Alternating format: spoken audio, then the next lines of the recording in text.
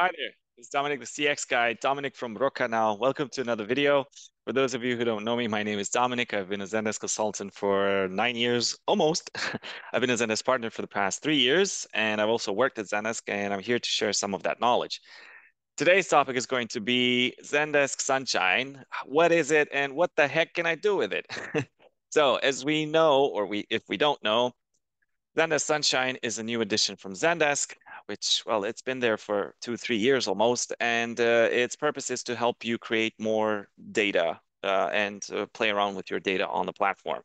Now, it is very developer centric, and I will have to be excused as I am not a developer myself. So, yeah, we're just going to try to break down the information that Zendesk gives us, and I will give you some uh, examples of use cases that I've come across while working with uh, Zendesk and Zendesk Sunshine.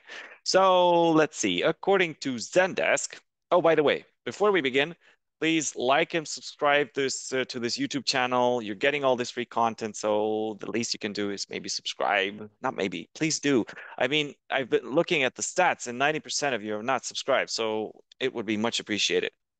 Now, going back to the video Zendesk Sunshine, what is it and what the heck can I do with it? The Zendesk Sunshine platform lets you connect and understand all your customer data wherever it lives. Kind of vague. The Sunshine data layer isn't uh, associated with one Zendesk pro product, but you can model relationships with certain native objects like tickets and users. Okay, kind of getting there. The Sunshine platform currently consists of three resources, events, profiles and custom objects. Each can be accessed with the API, right? So this is a little bit uh, where it comes starts to be a little bit vague because you can only access it via via the API, which the API you can do via code, which doesn't make it very accessible. So that's why, for example, I myself am a visual person and I don't really understand stuff unless I see it somehow. So if you're like me, then you're watching the right video right now or if you're a developer, you can maybe understand how you can make things a little bit more un- easy for people to understand. So we're all getting something out of this. So uh, let's break it down. So it consists of three resources, events, right? Let's talk about events, meaning that, for example, you have a business, right? And you can and you use Zendesk for support, right? To receive customer service requests, and then you have your team working in there, answers the support requests uh, let's assume that you do it well and yeah, all fine and dandy. Okay, amazing.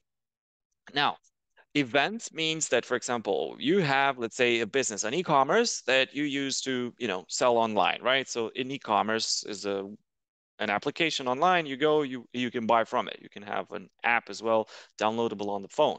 Now, the idea is that Zendesk is disconnected from whatever your business is, right? So let's, let's say from these e-commerce, it's disconnected. It doesn't know what's going on. So an event means that, for example, when a user buys a product from you, that's an event, right? Or if they click, uh, you know, I don't want this product, I want to return, that's another event. And then if the product, uh, it, they, for example, put it in a mailbox and they ship it to you, it arrives in your in your warehouse, that's another event. And then the customer says, okay, thank, all right, let's go with a, let's take it take it down a notch. Then the customer says, I want my money back. That's an event. The money arrives in their bank account. That's another event.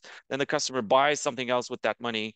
That's another event, right? So you don't know all of this in Zendesk. So the events API lets you essentially track all that information in Zendesk. So your agents will always see what their customer has done, right? So you can bring all this information, all these events into the uh, Zendesk Sunshine Events API, and you can display them to your agents so they can see them. So far, so good, right? okay, so now the other one is profiles. Okay, so the number one, let's say, problem nowadays is the fact that data is scattered through all over the internet, right? So you, when you run a business, you don't just use Zendesk. You use um, Magento, you use Shopify, whatever you use to make your sales. Then you use a tool like Xero to uh, send invoices or Stripe then you have another tool for, let's say, bug reports, but maybe it's Jira. Uh, then you have another one for project management, which is maybe Monday, uh, Monday.com or uh, I don't know, Asana or whatever. then you have another one for, I don't know, for sales, which is, yeah, so it's Shopify, uh, Salesforce or whatever, right? So you have all these different tools that contain information about your customer. And in an ideal scenario, you want all that information to live in one place. Specifically, when that customer reaches out to you and says, Hey, I need your help. Uh, I have a problem, right? I have a problem with your product. I have a problem with your company. Now you want to empower your agents to give contextualized answers back, right? So you want your agents to know who they're talking to. And, you know, if they are, I don't know, an old customer, like uh, that isn't like a old old grandpa, but like a customer that's done business with you for five years. Maybe they are high up in the priority rather than someone who's just thinking of buying from you, right? They haven't yet done business with you. So you want to know their profile. You want to know everything you can about them, right? So you bring all of this information you have about these customers to bring them into your um, Zendesk, for example. And that's where you can use the Zendesk uh, Profiles API and bring this information, surface it inside Zendesk so you can offer contextualized support. Now, there is another side, which is custom objects, which is, this is a very good bit because I um, I have been actively involved in this and try and I, am not trying. I've built some apps for it. So, you know, custom objects means the the following, right? So in Zendesk you have three data types, very big. It's they're amazing, but this is how Zendesk works. If you think about it, it's amazingly simple. Um, you have organizations, and then organizations have users, and then users have tickets, right? an organization can have multiple users, a user can have multiple tickets. And then obviously the organization can have tons of tickets because yeah, it contains the users that have the tickets. So you have these three data data models that have these relationships between them. Now, custom objects comes to help you to create additional data models besides these three. Because when you run a business, you don't just have tickets, organizations, and users. You also have maybe products, you have devices, you have items, you have coupons, you have um, subscription types, you have, I don't know, you have uh, whatever, you know, I've just given up, given you some examples, right? So you want to create relationships between, for example, your customers and the products that they own or the subscription that subscriptions that they have with you or the devices that they own if you're uh, if you're for example, an uh, ITSM. So um, yeah, see what I'm getting with this, right? So Zendesk Sunshine custom objects allows you to create these additional data models and to create relationships. So by the way, I have created an app on the Zendesk Marketplace for support and Zendesk Sunshine, where you can assign these project, you can assign these uh, products or items or subscriptions, you can assign them directly to the user because otherwise you can add them in Zendesk, but you can have to assign them through the API, which is a yeah not very friendly. So I have created an app for that for you to assign these, which makes it a hell of a lot easier to manage these uh, custom objects. Now, um, what else? Oh yeah. So now we finished these three, right? So events, profiles, and custom objects. We talked about these three. Now there's another thing that you can use the Zendesk Sunshine platform for, and it's conversations. So you can create custom conversations, right? So this means that you can make rich conversations using the Zendesk Sunshine Conversations API. And how this Sunco API, as you might be familiar with it, right? So you can use this to create rich conversations. How? You know how you can use right the flow builder and the, to create like some conversations um, in your chat, right? So you can have these uh, guided flows for your users well, you can create even more uh, complex ones. For example, you can use Conversation Sunco, Sunshine Conversations to, for example, ping uh, your backend and say, if your customer writes to you and says, um, yeah, for example, um, dear customer, are you a registered user? Yes, I am in the conversation, right? Customer says, yes. Okay, what is your email address? They put in their email address.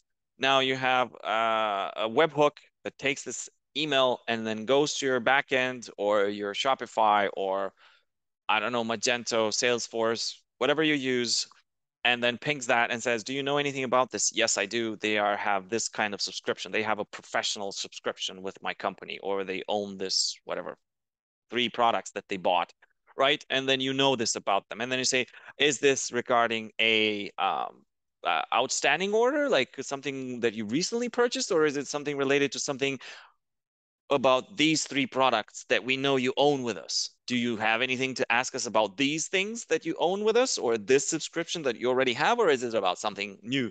Uh, it's about a new order. Ah, what is that order number? Uh, they give that order number and your backend, your, well, essentially what you can use Sunco for.